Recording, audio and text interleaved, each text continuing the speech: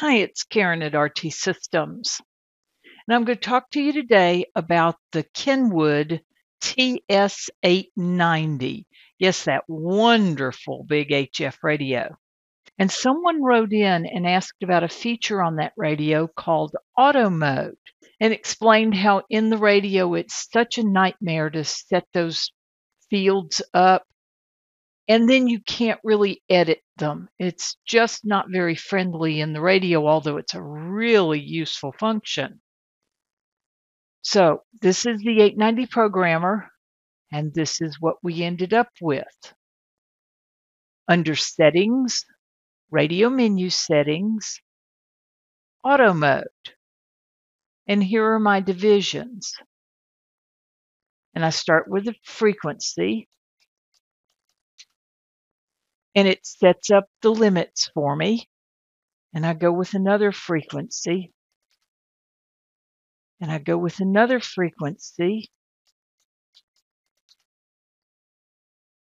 And I go with another frequency, and I'm going to make this one 1.555.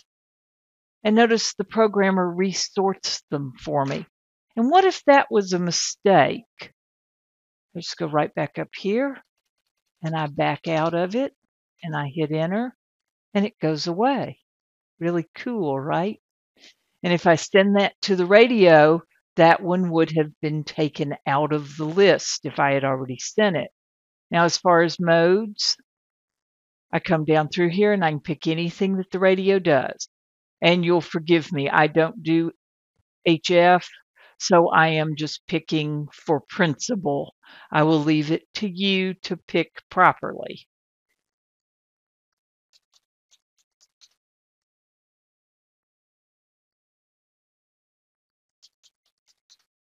And again, notice now this one jumped all the way up here. It did take the FM with it. So I'm going to reset that just that quick and easily to what I want it to be. And whoops, I picked the wrong thing. So let's pick again. I'm going to save this up, file, save. It saves it all up. And then communications and send data to radio. And I want to tell you something about that. The website offers two different cables for this radio. One of them is a standard USB A to B cable, just like any printer cable, just like one you can get at Walmart or Staples or Office Depot. So they're easily available. It will do your CAT commands, and it will do programming. So you have a choice of that or the USB 63 cable that RT Systems has sold for years to go with this radio. Your choice. So I do communications and send data to radio. And I can just send the menus to send, save a little time and tell it, okay.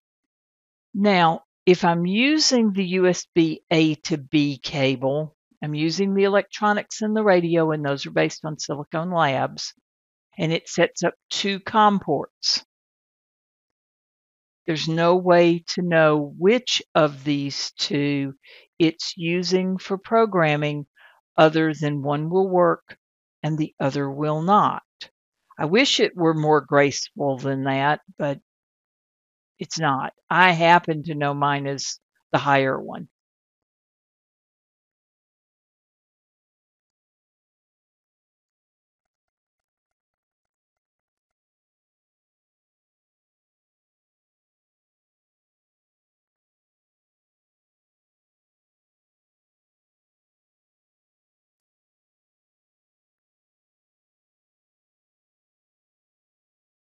It's having to do some checking in the background. That's what takes it a bit to get started.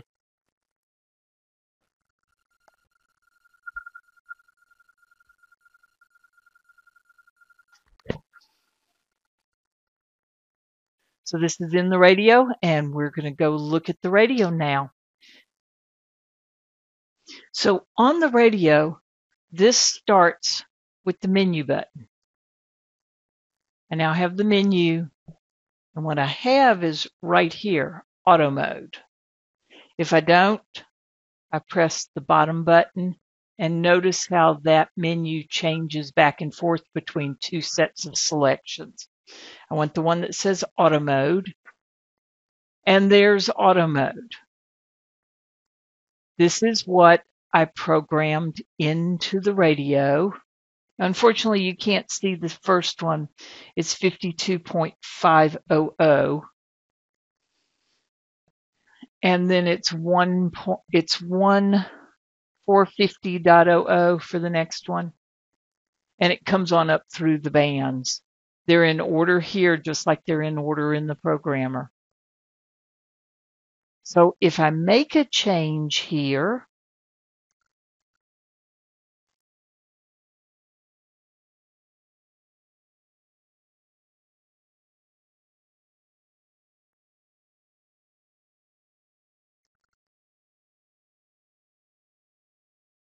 and I copy, and it inserted it right into the list.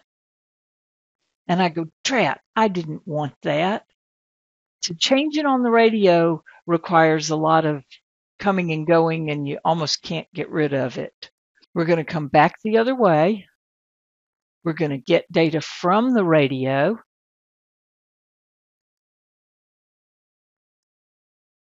And we're going to look at that auto mode screen. And here's that extra one I put in in upper sideband. And if I don't want it, or I wanted it to be 26.325,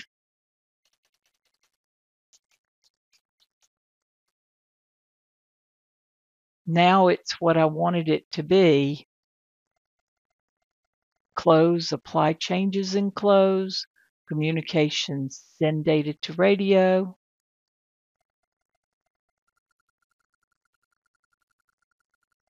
And as I said, I get a kick out of Kenwood radios because they talk to me all the time. And now we have that 26.325 frequency, all changed, all ready to use. This is what we've added new. We hope you find it useful. And remember, if you think you can or you think you can't, you're right. 73s.